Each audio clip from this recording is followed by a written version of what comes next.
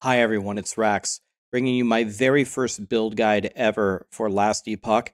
This build is absolutely insane, super godly at everything, one of the most fun builds, can take you through absolutely all content in the game. This is the Wraithlord Necromancer. You might have already heard about it, but I've played almost everything in the game, not quite everything, but I've played just about everything, and this build plows like no other and I'll show you some gameplay here in a second. But you want to know something super cool about this build? Do you know who enabled this build to even be possible? David Harbour. Do you know who this super famous godly actor is? Well, he's the guy from Stranger Things and a million other things. So we have David Harbour to thank for putting the godly unique in the game that even makes this build work. And uh, I I think you've got to try this. I'm going to show you some gameplay here, and you're probably not going to believe what you're going to see. So let's look at the unique here. Wraithlord's Harbour. See the connection there? Let's look at uh, the third one from the bottom. Casting Summon Wraith instead summons a Wraith Lord. The Wraith Lord scales with your Summon Wraith tree and summons other Wraiths for you while you're in combat. While you're at maximum Wraiths, the Wraith Lord casts Necrotic Beams and consumes all of your non Wraith minions to empower itself it gains temporary maximum health equal to 10% of their health and 10 spell damage for 10 seconds. Okay, so what does all of that mean? The, my style of build guide is take all the words and make it simple. There's going to be a gigantic Wraith Lord that's going to gobble everything that we summon and make itself stronger. And it's going to kill everything in the game for us very, very easily. Now, the ways to scale this build are the same ways that you would scale Wraith. And obviously, that's within the Wraith tree, so ranks to Wraith are very good. And you're going to want to stack intelligence. You're going to want to stack anything with minion and minion necrotic damage or necrotic minion necrotic pen. And we want minion spell damage. The Wraith Lord does spell damage. We don't give a French toast about any of the other minions. It's all about the Wraith Lord. So we have the summon Wraith here, and we maneuver through the tree. I could go through every node and tell you what it does. It's just everything to buff Wraiths. There's going to be something very cute that's going to enable us to always crit. That's why it is imperative that we go down all the way down here to these nodes to give us critical multipliers. If we are if we always crit and we have high critical multiplier, it's going to absolutely dominate. We're also going to go over here and pick up the damage and the health. Everything here is just very logically picked just to do more damage with Wraith. Now, the way that we always crit is from this buff Dread Shade. So this buff is going to make our Wraiths always crit from Egoism down here. That's why we path down here. And we are going to apply this buff to our Wraith and we're going to have to refresh it and we're going to have to pay attention to it. I will show you a trick on how to do that because it's not the easiest thing in the world.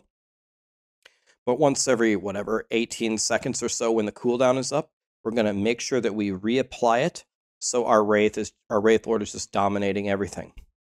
Summon Volatile Zombie is just for one purpose. We're going to bring them up and they're going to get gobbled by the Wraith Lord to make him stronger. So up here, we are going to get more zombies for ca- per cast. That means that the Wraith Lord is gobbling more zombies. And then corpse parasites on zombie death. He gobbles the zombies, parasites spawn. The Wraith Lord gobbles that as well. The more gobbling happening, you can hit in the millions with this build. It's ridiculous.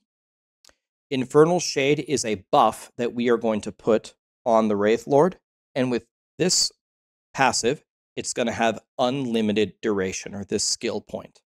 Going to put it on, it buffs him. He's going to be a fire boy. It's very nice. Now, the summon skeletal mage, the only reason why I have this on my bar is because uh, of this Grave Passage. When you directly cast Summon Skeletal Mage, you're teleported to that location. So it's, it's a teleport. And then this is going to bring your minions with you there is an experimental affix in the game that you can get that would solve all of this for you. And when you have that, instead, you would spec uh, transplant, which is an actual movement skill. So you would spec transplant at that point, but I don't have it yet. I, I really am not far into this character, so I'm playing Skelly Mage. Another thing that I absolutely want to give credit to is when I started playing, people pointed me to a great content creator who you probably already know, Rise Cutie.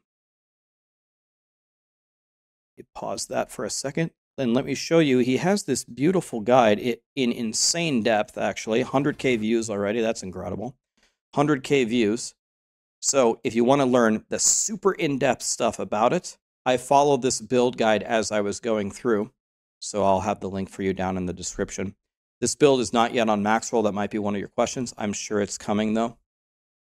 My build is very similar to Raiz's. I made a few changes, but let me show you what I have so far. Again, um, I'm level 91. I actually, believe it or not, I didn't make this character too long ago. I'm still working on everything. But let me show you again the basic idea with the gear. So you have a few options here. here. There is an exalted weapon, I believe, called a Soul Harvester. It's a very good base. Uh, you can just use an exalted Soul Harvester. It's a very good minion base. That's a great weapon. This Reach of the Grave, you probably you might have this in your stash. Um, and it just gives minion spells 113% increased damage. It's only required level 5, so you might have this. You can just slap this on. Another super godly thing is chronostasis, and this is very good for surviving. Don't worry about the top thing. It says it's consuming our ward. No, it's not. We don't have any melee skills. We're only taking it for the ward per second and the intelligence. Remember, intelligence scales our damage. This is what a lot of people use in the end game to stay alive because it's going to give you a lot of ward. I have 7.2k ward. I slap this one on. You're going to see my ward is probably going to go up about a thousand. I don't even have anything slammed into it. On the topic of ward, by the way, ward is kind of a barrier over your life. It's super strong right now. Um, a lot of people are saying that it's going to be nerfed either mid season or next season. It's possible, but ward is the way to go right now. So, what you do is you're looking for items that will drain your life and will buff your ward. And then you look for all these different ways to generate ward and um, uh, solve your ward decay with ward retention, everything for ward retention and gaining ward. You can see, oh, I don't have any health. I only have 100 health, but I have a 7,000 shield. How many of you have 7,000 health? Probably almost none of you. That's why ward is so strong. Remember, I just made this character. I will get much more ward very soon. And again, you actually use this weapon when you're pushing, you can get a lot more. That's where this armor comes from. A lot of builds are using this. Exsanguinous drains your health, gives you health as ward. Same thing with the boots. Drains your health, gives you health as ward. Okay. So exsanguinous and last steps are what are causing me to have this kind of massive shield. You'll see in the talent in the passive trees in a second that that's what we're going for as well. Then everything else is very simple. Keep the same things in your mind. Int, minion spell damage, minion necrotic damage, anything like that. That's exactly what we're looking for, nothing else. So, for example, if it says necrotic damage, that's not it. It must be minion necrotic damage because our Wraith Lord does all of our damage. Death Rattle is very nice because it has minion critical strike multiplier. Remember, they always crit from the buff that we apply to our Wraith Lord. And it's got intelligence on it, and I was lucky enough to slam 125 health in it. And it has a very good minion implicit.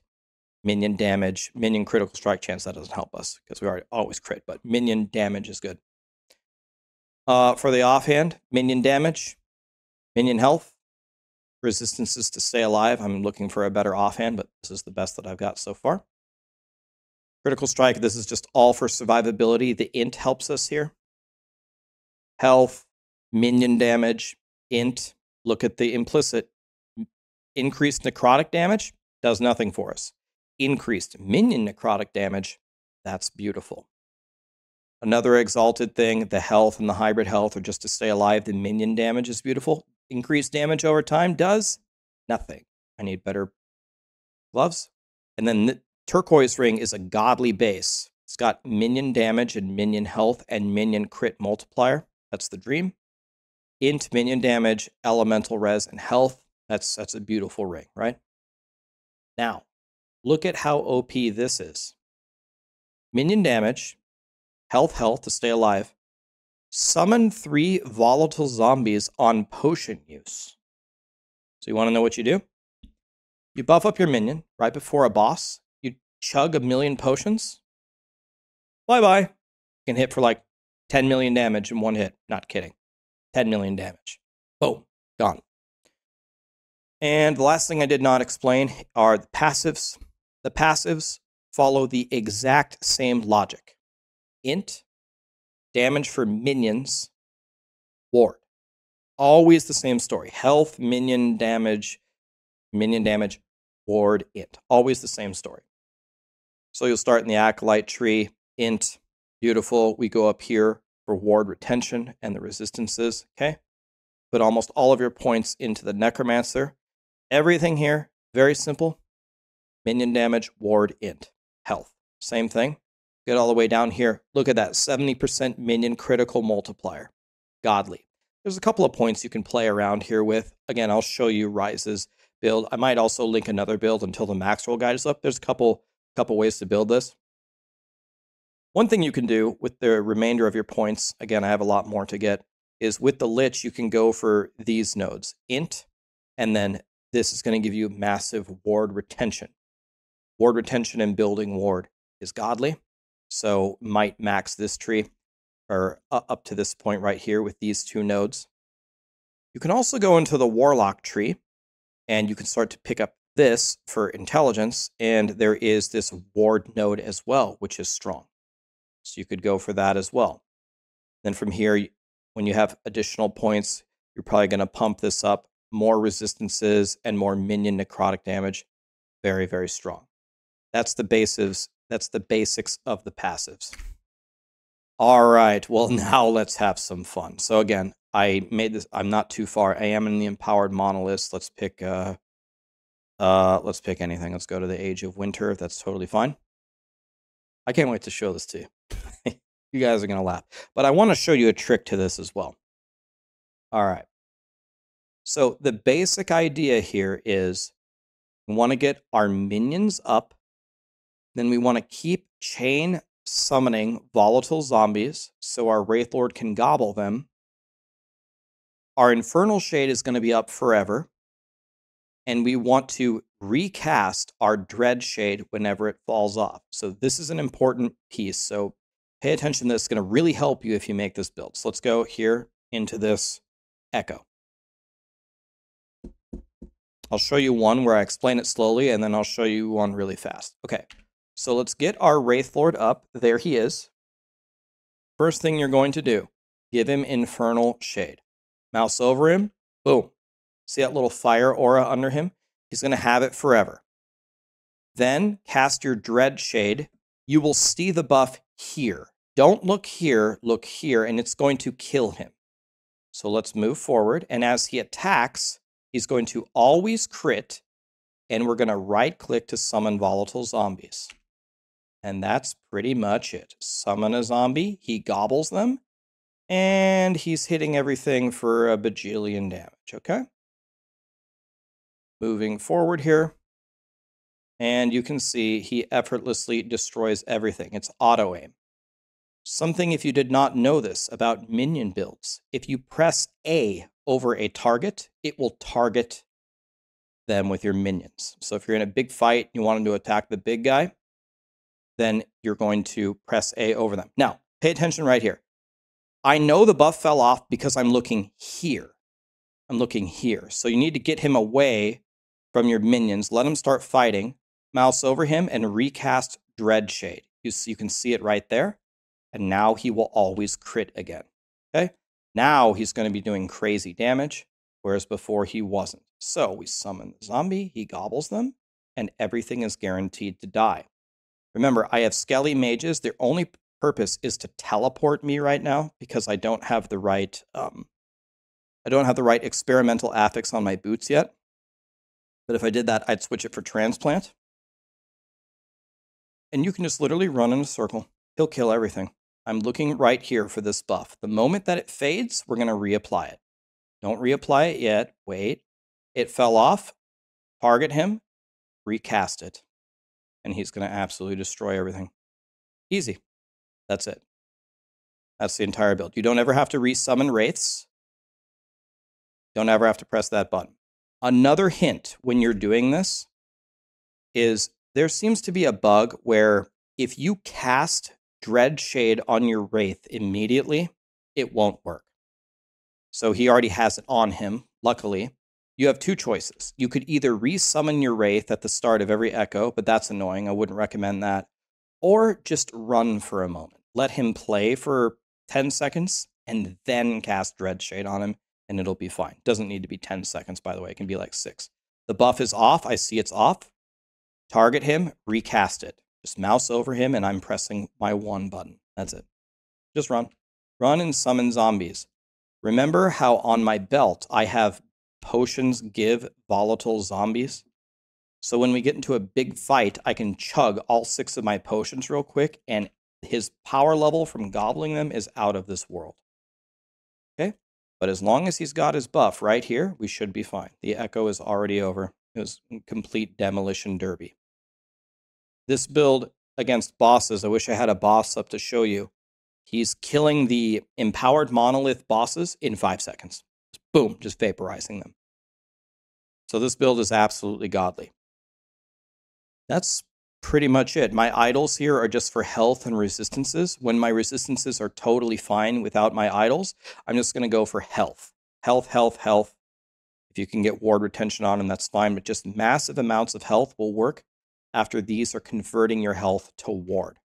You can see I've got 8,000 here, and uh, it's absolutely no problem. I'd do way more damage, by the way, if I had this uh, wand on. Let's, let's do one more real quick for the road. I'll try to do this one real fast. All right. Um, and okay, I'm glad this happened. If if your the buffs that you give your Wraith Lord kill your Wraith Lord over time. So if you don't play for a while, when you start the thing, he's going to be dead. Then you'll have to resummon him. Okay, give him the fire buff, give him the big buff, and here we go. Real fast. Here we go, as fast as we can. Let's go straight to the end, and you're going to see him chop everything. When we get into a big fight here, I'm going to drink all my potions. Okay, and he's going to zap everything. Press A over the big guy, instant death. There we go over here. Summon those zombies. He gobbles them. Go over here. Again, I'm 100% sure that uh, someone on Maxroll has got to be working on this build. You see how we're critting for 100,000 right there? No problem. The echo's already over. You can see he still has the buff on him. No problem. And we're out. That's it. So, David Harbour what a beautiful idea for the unique. Love to see him getting involved in ARPGs. This build absolutely destroys destroys the game. I know some people that are 1,300 corruption with this build. So it's real fun to go in there and try to slam all the necrotic minion stuff and the int on all these pieces, and then the sky's the limit. Anyway, Raiz has a much more expansive build uh, or video. I think it's an hour long. If you want to watch that, I'll link that. We will have a planner soon. I'll link, uh, I'll let you grab the planner from Raiz. There's also another planner that I might attach as well. Someone built it slightly differently.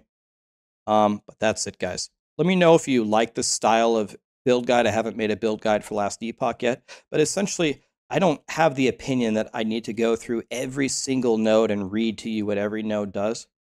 Int, ward, Minion necrotic, crush everything. Minion spell damage, by the way, not melee damage, not mo, not bow damage. Minion spell damage is what the Wraith Lord does. Put on the two buffs, track the Dread Shade buff right here. Don't cast it right away in an echo. Walk a little bit, let him like hit something, then cast it. That's a big problem. I'm sure it's a bug. They'll fix it later. And that's pretty much it. Hope you have a great time with this one, guys. And if you liked it, I'll make many more build guides in the future. Thank you.